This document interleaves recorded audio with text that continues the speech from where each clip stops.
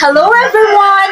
Today I am going to demonstrate the non-verbal communication skills of my favorite TV personality, Miss Connie Season.